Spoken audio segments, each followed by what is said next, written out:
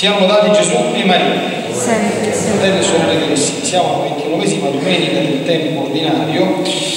Le letture di questa domenica ci pongono dinanzi a un tema duplice, ben preciso, che è dato dalle parole conclusive con cui Gesù risponde alla diatriba che si era generata tra gli apostoli, originata da questa mania di grandezza dei figli di Zebedeo e dalla reazione indignata degli altri, questi chi si credono di essere. Ecco, Gesù pone fine alla discussione dicendo attenzione, io non sono venuto sulla terra per essere un nuovo dominatore a opprimere il prossimo o a fare il grande, sono venuto per servire e dare la vita in riscatto per molti. Ecco, le due parole chiave con cui Gesù identifica il suo ministero sono queste, servire e dare la vita. Questa prima omelia della messa prefestiva con voi io vorrei approfondire il secondo aspetto, dare la propria vita in riscatto, riprendendo alcune splendide parole della prima lettura tratta dal quarto canto del servo di Yahweh. Sapete, questa lettura si legge solennemente nella Chiesa, sapete quando? Il venerdì santo, cioè il giorno in cui si parla e si celebra la passione e la morte di Gesù, perché Gesù non ha dato propria vita in riscatto così tanto per dire, Gesù lo ha fatto sul serio, quindi sempre la nostra vita vale tanto quanto siamo capaci di volgersi seriamente verso il crocifisso. Rileggo con voi brevemente commentando perché è molto chiaro, quando noi ascoltiamo queste cose dobbiamo pensare che Gesù si pone come esempio per noi. Quindi per essere suoi discepoli noi dobbiamo entrare in questa logica del servire e del dare la vita in riscatto per gli altri. Ci metto di mezzo la vita io, quindi non, non, non faccio fuori gli altri, capite? Con le parole, con i fatti, ma mi faccio, cioè, immolo io, c'è questo spirito profondamente cristiano che è proprio lo spirito di immolazione, il dare e il darsi per il bene del prossimo. Allora, la prima lettura brevissima detto queste parole. Al Signore è piaciuto prostrarlo con dolori. Prostrare chi? Il suo servo. Questa parola si è compiuta in Gesù. È piaciuto prostrarlo con dolori. Proviamo a pensare intensamente, dice a un certo punto la lettera agli ebrei, di cui abbiamo più uno straccio. Cosa ha fatto Gesù mentre il tormento della sua passione e cosa facciamo noi quando soffriamo qualcosa? Come ha reagito Gesù dinanzi a Gesù passate, eh? ha cominciato a dire al padre scusa ma io sarei il figlio tuo mica lo posso trattare così scusa padre ma io sarei innocente non ho fatto niente di male non me lo merito no e se avesse fatto così sarebbe stata la fine eh? e è stato prostrato con dolori capite? chi di noi si mettendosi davanti al crocifisso può dire scusa signore mio cioè, tu non lo sai che significa sì tu sei andato in croce ma non so io quello che ho sofferto quando offrirà se stesso in sacrificio di liberazione vedrà la discendenza vivrà a lungo attenzione si compirà nel mezzo oscuro a volontà del Signore attenzione per vedere una discendenza qual è la discendenza di Gesù? chi è la discendenza di Gesù secondo noi? Ecco una piccola parte della discendenza di Gesù. Perché senza quello noi oggi non staremmo qui. Eh. Noi siamo qui perché siamo stati battezzati, ma il battesimo, cosa diciamo tra poco nel credo? Professo un solo battesimo per la remissione dei peccati. E come è arrivata la remissione dei peccati a noi? Attraverso il sacrificio di espiazione del Figlio di Dio.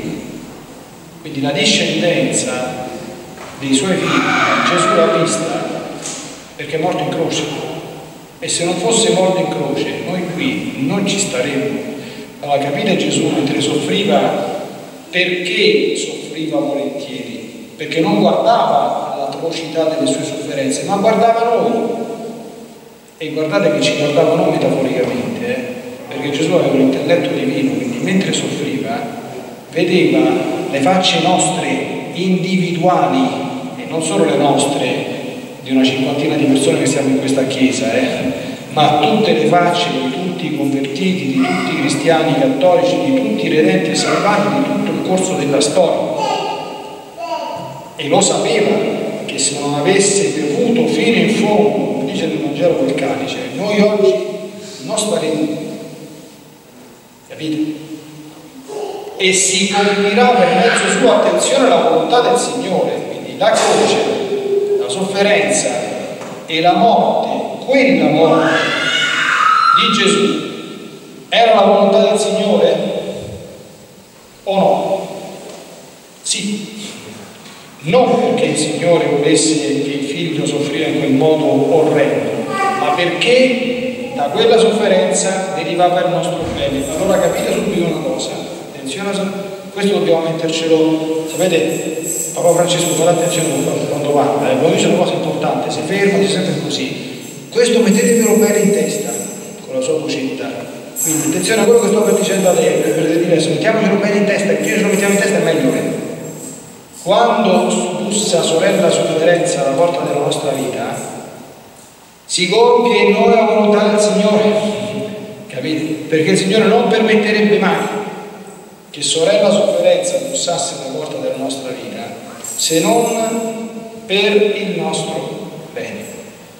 Quindi lamentarsi o cominciare a chiedere al Signore perché, l'altro giorno leggevo una meditazione bellissima, sapete cosa ha detto una una santa donna di cui è in corso il processo di beatificazione, ha detto che la parola perché Signore si trova scritta a caratteri cubitali nell'inferno. Mettiamocelo bene in testa, eh. Al Signore non si chiede perché. Perché lo sa lui perché. Ai nostri perché dà la risposta quando siamo morti. Qui noi dobbiamo dargli il credito, è un atto di fede che facciamo, che se bussa sorella sofferenza, come fu per il figlio, siamo discepoli, un senso grosso ci sta. E noi, se non siamo capaci di amarlo, la sofferenza come fatti santi, quantomeno l'accettiamo con spirito di cristiana d'assegnazione. Altrimenti non siamo discepoli di Gesù. Eh? Ancora, dopo il suo intimo tormento, abbiamo già quasi finito, vedrà la luce e si sazierà della sua conoscenza. Gesù è risorto? Sì, ma come ci è arrivato alla risurrezione? Passando attraverso la passione e la morte. Quindi noi vorremmo, a noi ci piacerebbe che fosse sempre domenica, giusto? Che fosse sempre Pasqua, d'accordo? Ci piacerebbe che arrivasse il giorno di Pasqua senza la Quaresima, senza la settimana santa e senza il venerdì santo. Le cose non funzionano così. Pasqua arriva arriverà anche per noi. Ma Pasqua arriva con il coronamento del giovedì santo, del venerdì santo e del sabato santo. Quindi noi non siamo senza speranza. Quando bussa sorella sofferenza, noi crediamo che questa il Signore la permette per un bene maggiore e sappiamo che dopo sorella sofferenza c'è la gioia di Pasqua, sempre. Questa è è una legge per noi cristiani. L'importante è che, capite, il mistero pasquale è una unità integrale. Ancora, il giusto servo giustificherà molti, egli si addosserà la loro iniquità. Attenzione, questa è l'ultima cosa. Cosa ha fatto Gesù? Guardate che Gesù ha sofferto addossandosi, quindi facendosi carico di colpe non sue. Chi di noi è capace di fare questo? Qualche santo, voi sapete la storia di San, di San Domenico Sangro, no?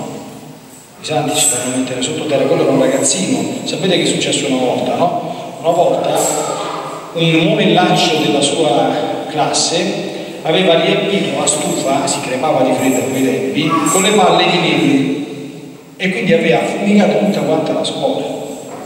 Quando è arrivato il professore, ha visto tutta storia, chi è stato a fare questo? Altri monellacci hanno puntato il dito, è stato Domenico, hanno incolpato a lui. E cosa ha fatto San Domenico Savio? Non ha risposto nulla, è stato zitto. Si è preso il castigo si è preso la punizione si è preso il disonore davanti al professore dice ah Domenico Santo mi meraviglio di te. Sembravi tanto un bravo ragazzo che metti a fare queste cose. Lui zitto non ha aperto bocca. Voglio vedere che di noi sarebbe stato capace. Qualche giorno dopo il professore ha saputo la verità perché gli hanno detto guarda come è stato Domenico Santo è stata quella peste di inizio il professore un anno da, da Domenico ha detto dice scusa ma perché non mi hai detto che eri stato tu?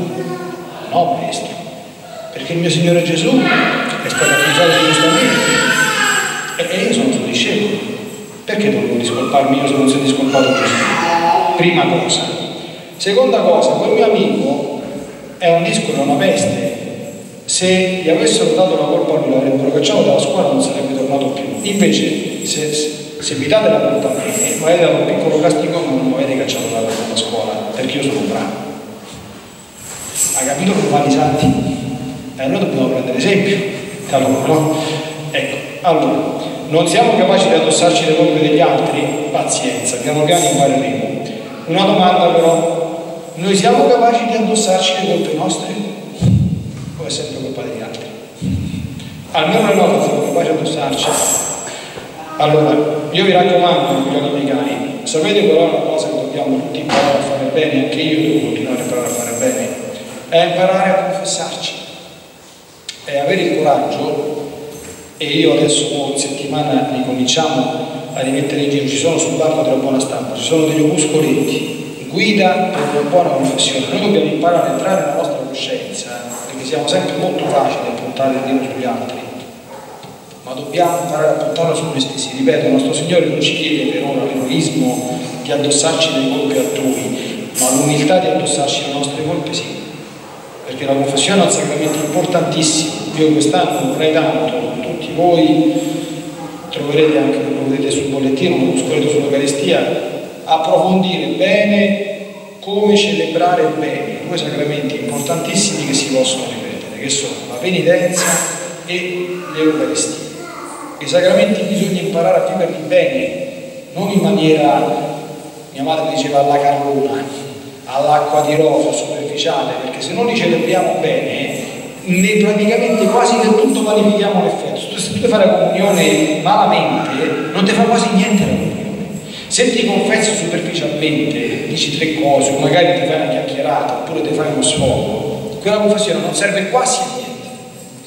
Invece ti fai una bella comunione con buone disposizioni interiori e esteriori, quella comunione diventa santo se fai una bella confessione fatta bene, addossandoti bene le tue colpe umilmente, senza giustificarti, mettendoti proprio a nulla dinanzi alla divina misericordia, tu dal confessionale esci trasformato, esci una persona nuova. Eh, quindi piano piano dobbiamo imparare anzitutto questo, perché se vogliamo dare uno svolto alla nostra vita interiore, la prima cosa è rimparare a usare bene i sacramenti che sono a nostra disposizione, soprattutto quelli che si possono Chiediamo alla Madonna che ci accompagni con l'inizio di questo nuovo anno pastorale, del cammino che ci attende e che ci aiuti sempre a guardare all'esempio di Gesù e all'esempio dei santi, ecco, per capire sempre bene come comportarci e come orientarci. Sono esempi alti, ecco, non ci si arriva dall'oggi al domani, l'importante è mettersi in cammino e avere sempre chiara la nostra meta. Siamo lodati Gesù e Maria. Sempre.